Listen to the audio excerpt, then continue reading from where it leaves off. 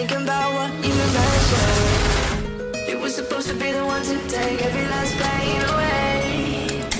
Nothing on our loving, maybe time told us that we were different. Did it break you down?